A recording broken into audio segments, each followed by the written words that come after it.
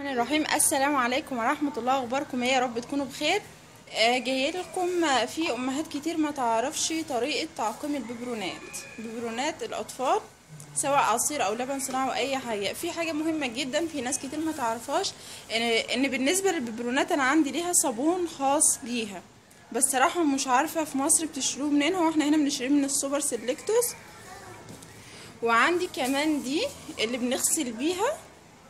دي بنحطها كده بندخلها جوه دي وبنفضل نلف كده كده. وطبعا أنا الأول بحط فيها شوية مية أنزل كل اللبن اللي فيهم أو العصير ايا كان كان فيه إيه وبعد كده بحط شوية صابون صابون البيبرونات حطيت شوية صابون من الصابون ده برجع أحط يعني حوالي كام ملي بس صابون كده. وأكمل عليها مية وأرجع أحط دي وادعك كويس أغسل بيها كويس. شايفين الجزئية اللي قدام دي للببرونه من قدام وغطا الببرونه لكن الصغيرة دي بقى لإيه؟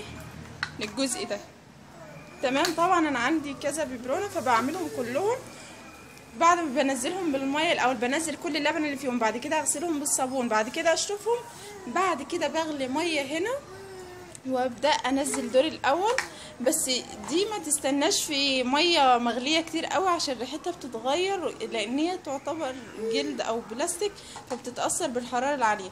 بحطها هنا وببدأ أطلع كده بال بالمصفى عشان ما تلسوعش من المية. بطلعهم كده في طبق أو أي حاجة وبعد كده أرجع أحط الببرونات نفسها. ولما أخلص أعملها كده أسيبها تنشف خالص. بنشفها خالص.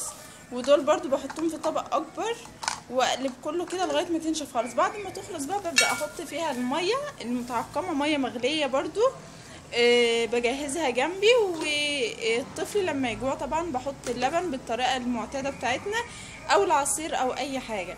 أه يا رب تكون ال- الطريقة الشرح مبسط.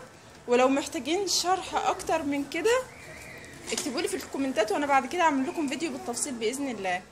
آه لو أول مرة تشوفوا لي فيديو ما تنسوش تشتركوا في القناة وتفعلوا الجرس وتدعموني ب like وجزاكم الله خيرا. أستودعكم الله. السلام عليكم ورحمة الله.